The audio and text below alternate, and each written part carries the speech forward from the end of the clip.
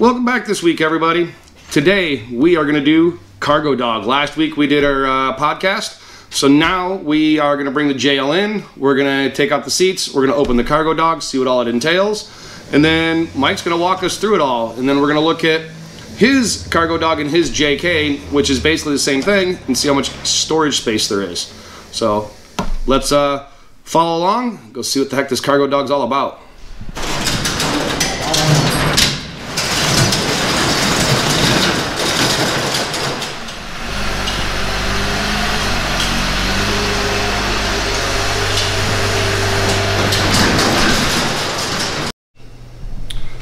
All right, we are now to open the cargo dog and see what's in the box. This is new for me. Never opened one. I have no idea what's in here. I don't know what kind of assembly is required. I don't know anything.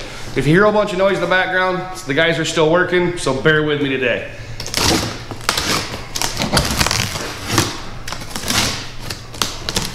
You think we're to have to put the whole thing together? Because I have no clue. So, all right, we're to have to do more cutting. Like a box inside of a box.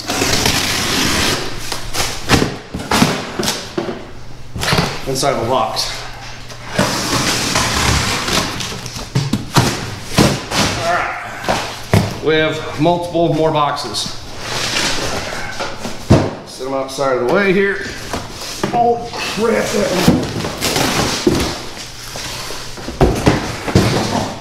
one. One down, two to go. Like multiplying.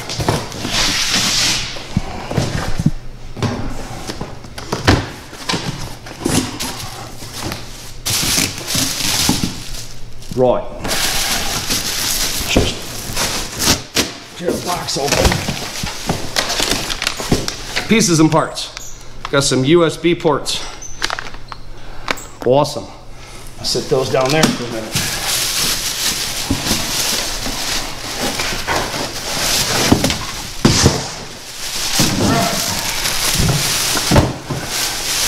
Here's the first piece.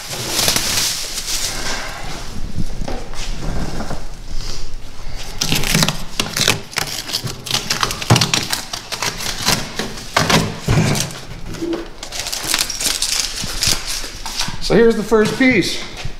Um, I don't think I gotta do any assembly. Got some wiring, keys. Hmm. I would have assumed there would be some assembly. I believe I'm assuming wrong.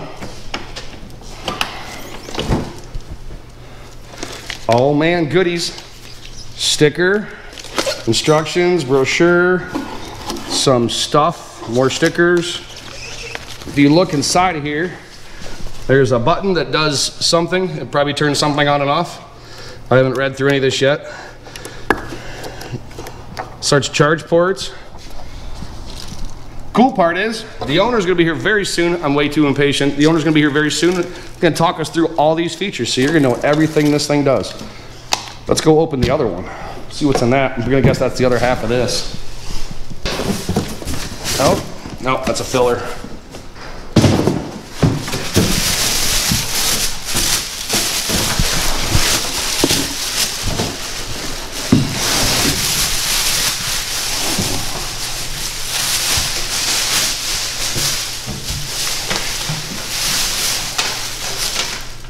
And ta-da, another one. This is all just to protect it for shipping. Definitely don't want it to get damaged. This is not a super cheap system, but honestly, I think it's very reasonably priced, especially for what you're getting. Hand-built, American-made. Oh, dude. Those gas struts are sweet. It's all rubber sealed. Dude. It's all pre-wired. It's got LED lights in here. So it's got LED light strips. It's all pre-terminated, so it's just plug and play basically. It's got a switch to turn the lights on and off when you automatically open the door. I know I have kids, and in the podcast I said I didn't think I'd ever get one of these because I have kids, but I think maybe I should get rid of my kids and get one. I still think you should get one. Well, the cameraman slash kid says we think we probably should get one. Mike's going to be here in a brief moment. He's going to talk us through all these features. We're going to install it, and we're going to go look at his cargo dog and see how much crap we can put in one.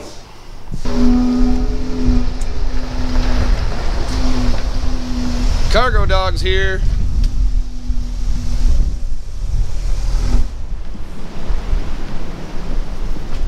What's happening, Ken? What's up, buddy? Not too much. Man, I like your Jeep. Thank you. I've seen your Jeep many times, but I don't know how many times any of my subscribers have seen it. It's a nice JK, very well outfitted, running 37s.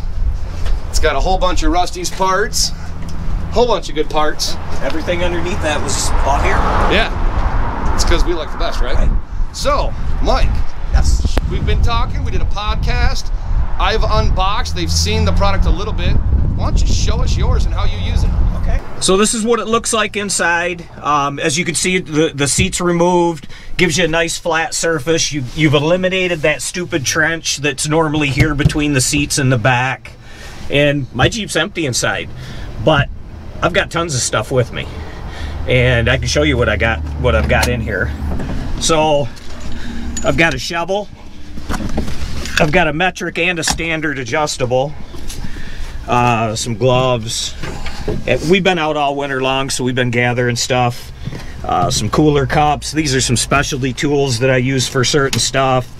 I've got some straps for my roof rack. I've got some fasteners for my roof rack. Some more roof rack features. When we go to shows, we strap a lot of stuff down. Um, all my extra cords and my GRMS uh, charger. Tool bag recovery bag. All my D-rings, everything in there. Got a saw. I got a hatchet. Got a hat. And that's it for that part concept compartment. So on this side, uh, this is kind of our everyday use side. I got a couple towels in case you spill something. I got a jacket. I got my air up hoses for my compressor. Um, got some hats. Got a step for getting up on my roof. Another cooler cup. Maybe we drink too much. Fire extinguisher. Um, bear spray. Never knowing you're gonna need bear spray. Another hat. Self-explanatory. First aid kit. Pair of binoculars. Wife's gloves. Collapsible dog dish. More cooler cups. Some lights, some Velcro, a couple more towels. That's that side. Um, in the middle, we got the anti-car theft spray. Um, just a adapter. I got a headband for lights. Got my winch control. Got my programmer.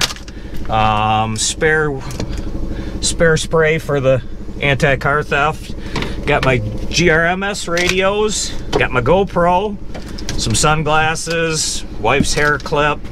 Raincoat. Uh, just some miscellaneous crap that you never know if you're gonna need. Air, you know, different stuff. And then on the back, we've got our charging ports. So your main switch turns it on and off. These will shut the lights off. Charging port is for the cigarette style. You've got the U2 USB style. And then you just get a voltmeter to kind of tells you where your voltage is at. Um, you know, if you're drawing stuff, it gives you a good idea. I've used it before when just, you know, hey, I wonder what kind of voltage I'm putting on my batteries putting out, and that'll kind of give you an idea.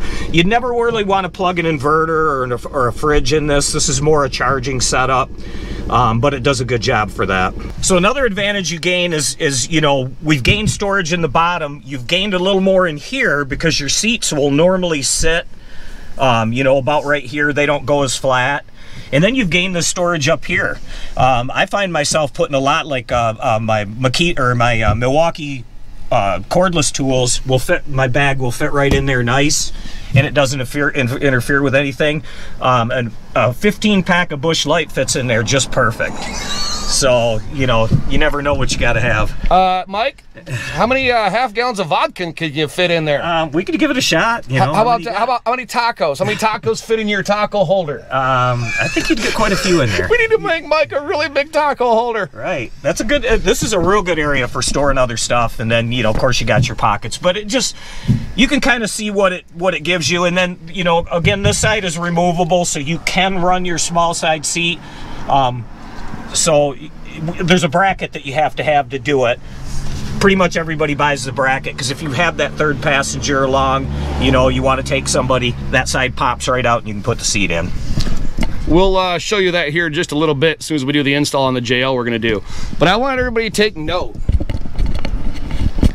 Look at how much stuff is here. It's actually, that's what kind of baffles me. There's just so much stuff that he gets to put in that dead usable space. It makes it extremely usable. Mike, uh, you know, all this stuff you're going to want with you anyways. You know, you get to carry it with you all the time. It's just, I love it. can we go install one? Let's do it. Let's go do it. Couple tips for you guys uh, when you're if you're going to move the cargo dog system in and out because it's real easy to move in and out. Give yourself some room to work. Um, a T40 Torx will take the bracket off the door and then of course undo your strap and you can open your door out so it's out of the way. If it's a windy day or something, you might want to bolt it or you know tie it down. Um, just watch it so it doesn't beat your door up, but you're not going to have the access without that door folded over. So just something to make it easier. And then we're gonna we're gonna pull the floor mats out and get the seats out.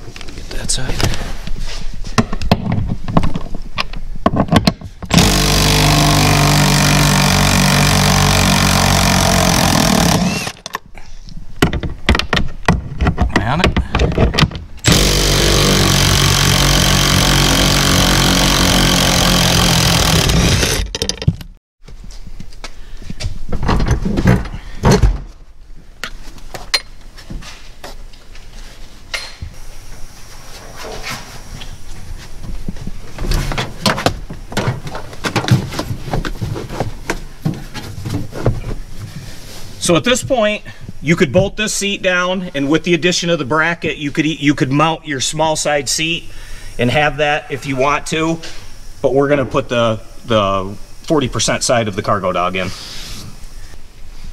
Okay, so the 40% side's real easy. It's a lot. It's a little bit lighter. And again, these both of these are way lighter than your seats, so you're gaining weight. So you're gonna want to take your wire feed, put it through the hole here, and then there's, if you look on this, there's these pins. They go into the center box to keep everything aligned. Get them in there. Make it happy. Easier said than done. So now at this point in time, what I always do is just make sure you like it on both sides. You know, you can move it around a little bit. Um, get the get the gap out of here. If you leave if you don't line those pins up, you'll never get that plug plugged in.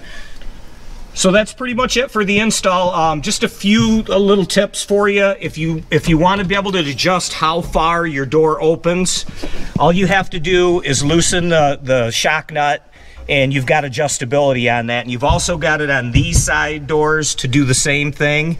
If you don't like how tight your door is shutting. You know, maybe it's it shuts and it's loose, or, you got to push it real hard to shut it. You can adjust the striker in there too, so that'll move up and down to get everything the way you want.